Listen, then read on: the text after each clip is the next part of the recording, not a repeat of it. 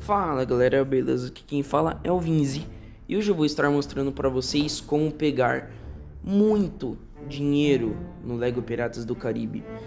Mas para fazer o glitch, primeiro deixem um like, se inscrevam, ative o sininho e comente o que você achou do glitch no final do vídeo. Vamos lá.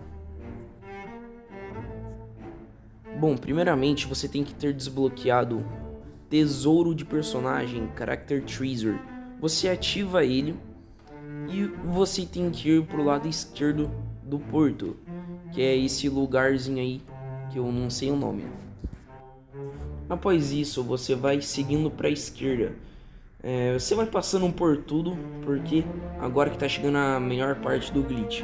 Você chega nesses dois barris, só que você tem que pegar o personagem que tem um, um explosivo, tipo um Marte. Ele tem essa arma que ele pode atirar e explodir os barris. O que, que você faz? Você posiciona seu personagem nesse pixel, daí você começa a atirar e assim é a farm de dinheiro. Rapaziada, os tijolos opcionais são os que dobram o dinheiro, né? Claro. Na verdade, eu acho que é até necessário. Que, tipo, né?